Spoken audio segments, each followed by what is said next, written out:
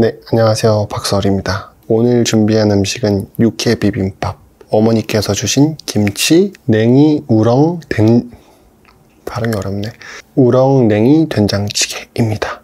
오늘도 감사히 잘 먹도록 하겠습니다.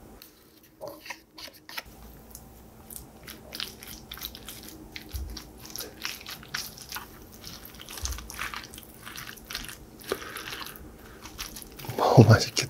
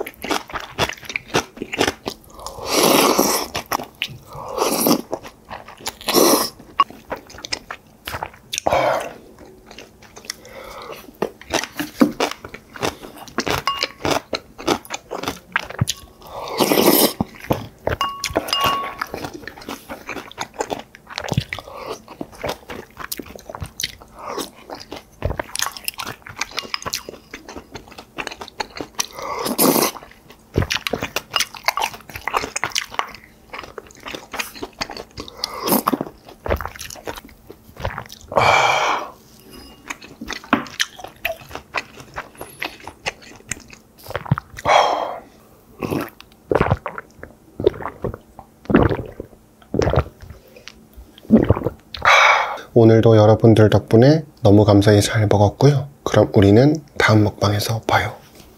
안녕.